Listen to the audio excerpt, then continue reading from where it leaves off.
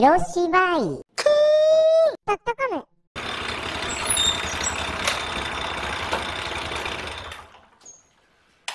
今日はジャイロアップがですねエンジンかけたらカタカタカタカタカタカタカタカタ何か当たるような音がするんですよ。それの修理をする予定だったんですけど想像以上にしょうもない原因でしたので急遽ですねせっかくもったいないのでタップダイスとナットリベッターの使い方2つのパターンで DIY 補修作業をしたいと思います。このバイク自体がもう古いからですねある程度はしょうがないんですけど、まあ、ガタが来たら補修をしてあげるという意味でですね。でエンジンをかけたらカタカタカタカタ音がするって言ってたのどこかっていうとこのエンジンカバーガードのところです。ここですね。もう外れてしまってどっかに行ってます。でこれがカタカタカタカタカタカタカタってなって。でもう片方あるんですけど逆側もですねこれなんですけど、もうスカスカになっちゃってですね、これはもうもともと分かってはいたんですけど、これのもう補修をしてあげようと。もうなんか、フレームの方の穴がもう広がっちゃってて、きちんと止まらなくなってますので、もうこれをサイズアップして、こうですね、タップ切りしてあげて、新たにワンサイズ大きいネジ止めをしてあげようと思います。まあ、ここの純正のネジをですね、ワンサイズ大きくしてあげるだけでもいいんですけど、この場合ですね、きちんと止まらないことが結構あるんですよね。それを何遍も経験してますので、今回はもうネジ山をきちんと掘ってあげて、薄いですけど、フレーム自体はですね、ネジもスクリュー系じゃなくてですね、あの、ボルト系のネジ、スクリュー系の場合は目がどうしてもかなり大きいですよね。ボルト系のネジにして、ここを細くしてしっかりと止めれるようにしてあげたいと思います。そしたら、ここから作業開始ですね。ちょっといつものバイク修理とは違いますので、まあ、ただ、いつもと同じような感じでしていきたいと思います。まずはですね、タップの方を取って、ハンドルを取って、適正サイズをあてがってあげてですね、ハンドルを取り付けてあげて、ただただねじ込んでいくというですね、至極シンプルな話です。ただし、もちろん全ての工具にメリット、デメリットがあって、これはですね、場所を選びます。しっかりと垂直にねじ込んでいかないといけませんので、場所がですね、地面からだったり、体重をかけれない場所だったりすると、ちょっと苦戦することになります。もう一つは板圧ですね。母材側がですね、まあ、6ミリ、7ミリぐらいまでだったら男の人なら全然できます。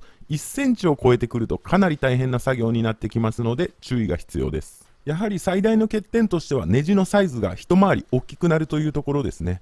削ってネジ山を作るわけですので削る分穴自体は大きくなりますのでネジ自体のサイズも大きくなると。どうしても純正のスクリューを使いたい場合はこのやり方よりナットリベッターの方がいいです。ただしですね、ナットリベッターはボルトに対しての工具なので、カウルネジなどスクリューの場合はですね、もう溶接で一回ちょっと埋め込んであげてタップを切り直してあげるくらいしか方法はないかなと思います。先ほども言いましたけど、これがですね、地面側とか、例えば車体の下側ですね、の補修作業とかになると、体勢の関係でかなり大変な作業になるんですよね。こんなに簡単なことをしてるんですけど、ただただネジ山をねじってあげて作ってるだけです。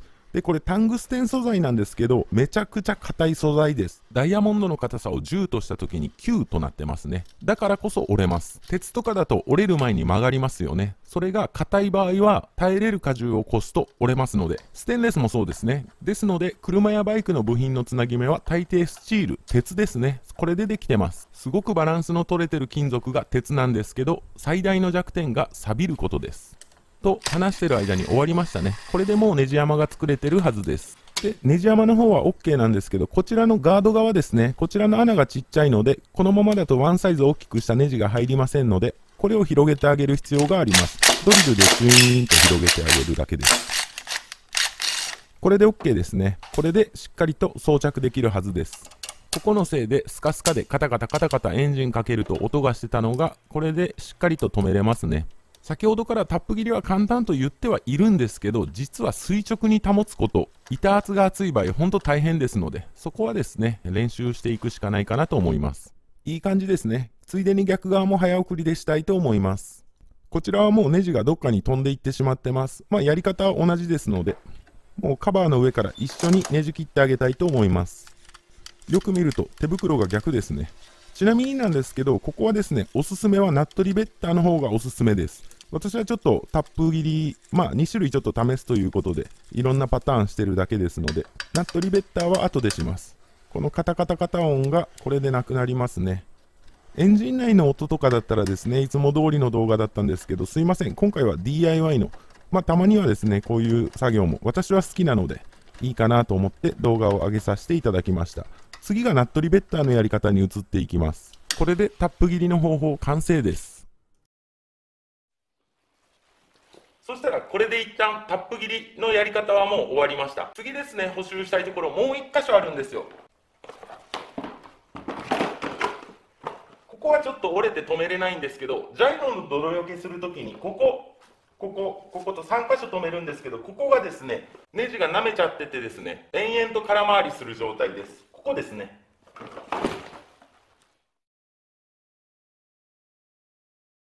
このネジで止めるんですけどもうネジ山がこっち側がバカになってます。これですね。どういうことかというとカバーガードをして止めるんですけど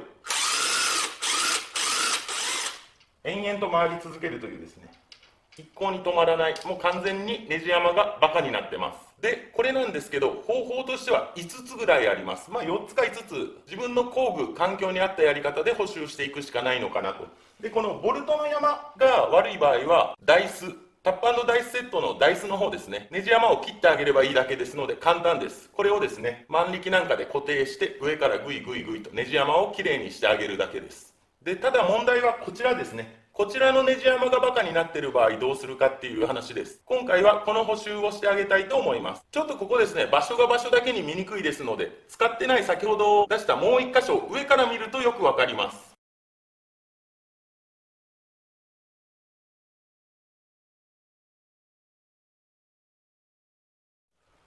ここなんですけど見えてますかね？わかりますかね？こういう溶接ナットが使われてます。裏から見るとですね。ここにペタンって貼られて溶接を4点止め1234と。なので溶接機があれば一発で終わります。これが1つですね。次が2つ目。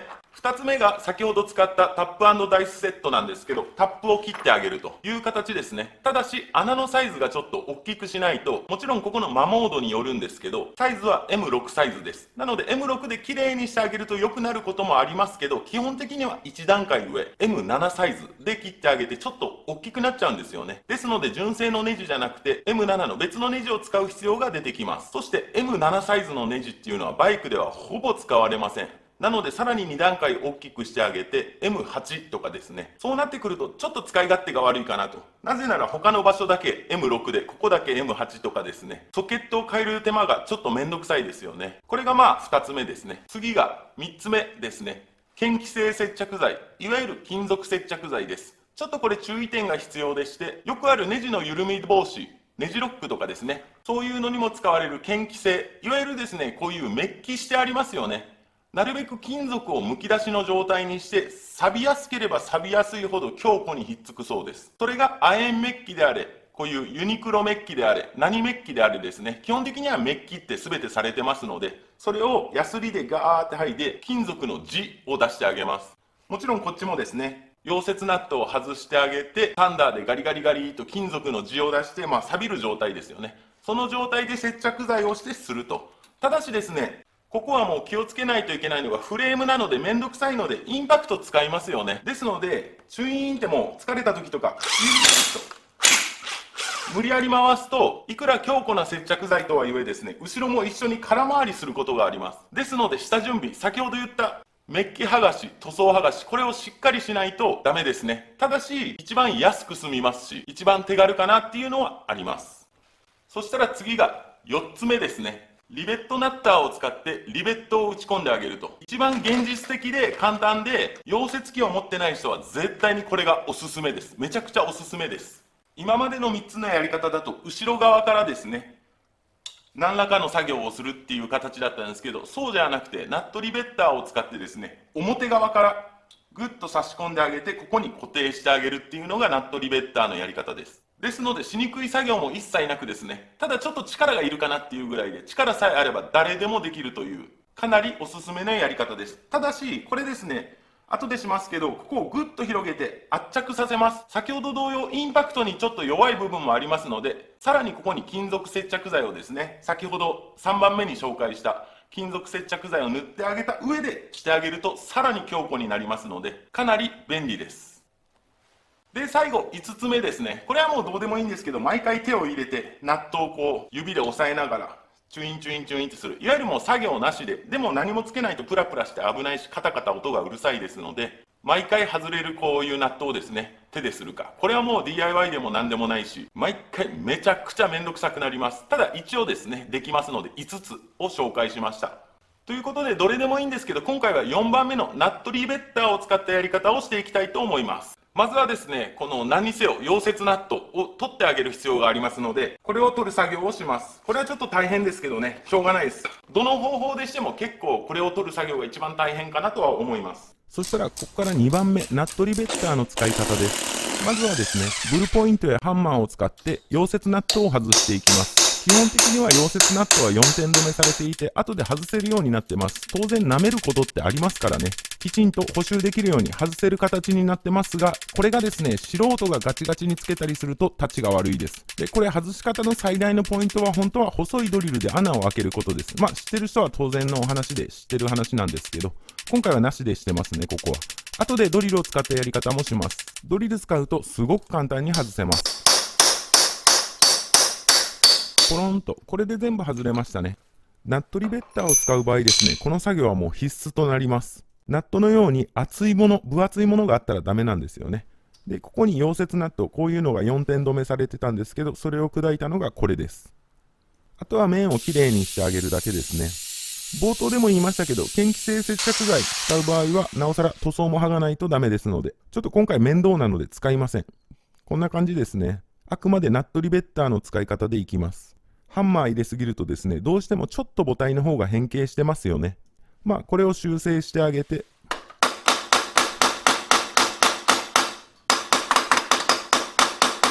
可能な限りですね、これで作業していきます。使うのは当然純正が M6 なので M6 用のリベッターを使います。これ当たり前ですけど、ボルト穴が M6 なだけで、外枠はまた大きいですからね、もうちょっとドリルで穴を開けて、ここにはまるようにしてあげる必要があります。ドリルを入れて穴を広げていきます。これですね、奥行きがフレームと当たって短いのでちょっと大変でしたが、奥にフレームがない場合はめちゃくちゃ簡単ですので、こんな感じでドリルの横を使ってぐりぐりと広げていきます。なるべく円形になるようにですね、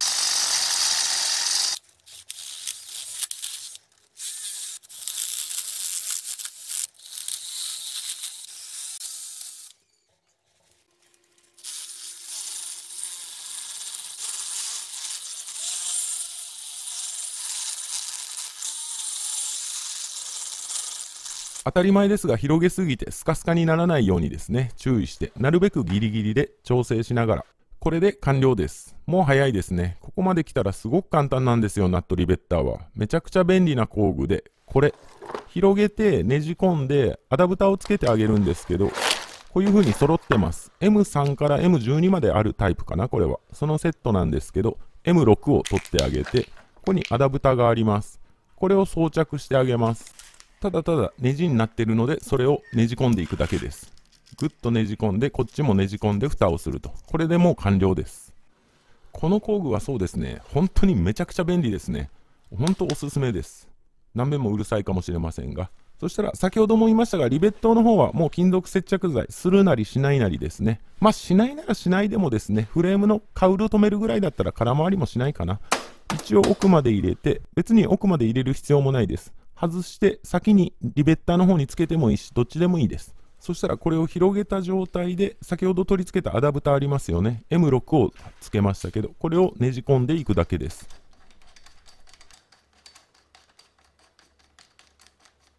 最後までしっかりと締めてあげて、これをですね、引っこ抜くとこんな感じです。先ほどのネジ山に入ってるだけです。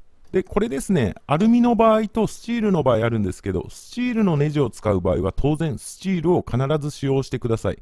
今ですね、ちょっとスチールがないので、これアルミのリベッター使ってますけど、あとはハンドルを閉じるだけです。ぐいぐいぐいと見えますかね？圧着されてるの。手前側にどんどん引っ張られてるんですよ。ひっつきました。これでもう完了です。あとはアダプターを外せば完了です。もちろん接着剤、あのー、先ほどの使用した人はより強固になってますので、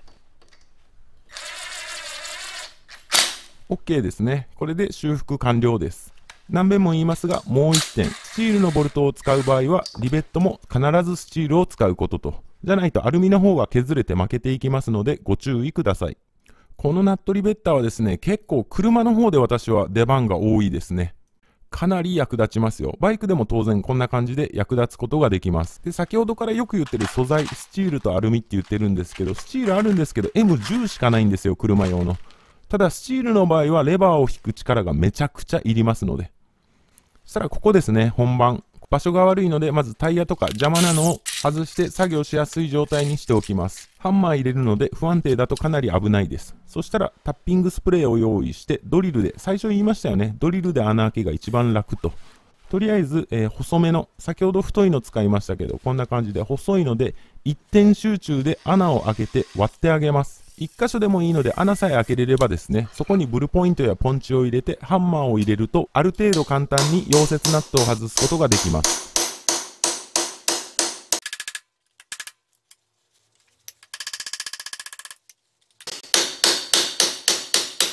先ほどの4分の1ぐらいの時間で外れました。こんな感じですね。今回は綺麗に外れましたね。先ほどは真っ二つに言われましたけど、で、一番最初に溶接ナット外しが一番大変と言ったんですけど、これ場所によってですね、難易度ががぜ変わりますので、まあそれを楽しむのも DIY かなと。私の場合、頭が悪いのでちょっとあれなんですけど、頭いい人はですね、いろんなやり方を自分でですね、模索できると思います。同じように当然入りませんので穴を広げるですよね。これは奥行きがないのでドリル一発でした。ぐりぐりぐりーっと。OK ですね。先ほどの感じでギリギリにしておいて、コンコンコンと。何度も言いますが、嫌気性接着剤する人はして、ナットリベッターで締めてあげるという形ですね。今度は、えー、場所が違いますので、こっちから見てみます。横から見るとこんな感じで、ハンドルを締めてました。先ほど真上から見ましたもんね。ぐっと締めてる感じです。これがスチールだとめちゃくちゃ力いりますので、女性だときついかな。全体重かけてですね。これで完了です。あっという間ですね。ネジ穴のサイズ変わってないので、これだとですね、純正がきちんと使えると。OK です。まあ、どっちにせよ、一旦泥よけガードカバーつけてですね、試してみたいと思います。いや、ナットリベッターは本当に便利ですよ。溶接ナットを舐めてしまった車のシートの時は、動画出してますけど、シートつけれないと車検通りませんからね。そしたら、ジャイロの泥よけカバーです。1、2、3箇所と止めますけど、まず一番後ろがここ。ここは普通ですね。で、ここは泥よけガード側が折れてますけど、せっかくつけたので、こんな感じですね。で、ここが本当に修理したかった場所です。OK ですね。完璧です。ちょっと今回はいつもとは違う動画になりましたけど、こんな動画も入れていけたらなと思います。今回使用したのはタップダイスセットとナットリベッターです。まあ DIY 作業する上でですね、絶対に必要なのはやっぱりタップダイスセットかなと。ただめちゃくちゃ便利なのがナットリベッターかなと思います。ネジなんて補修すればすぐ治るの買ってたらきりないですからね。で、えー、今回の作業は実は溶接機があれば一発でちょんちょんちょんで修復可能な作業でした。ですので溶接機も便利ですね、やっぱり。けど私の個人的感想は自分の手持ちのある中で頭をフル回転させて補修するのが DIY の醍醐味かなとも思ってます。プロなら工具揃えて当たり前ですからね。今回使用した工具などは概要欄本編詳細リンクに貼っておきますのでぜひご確認ください。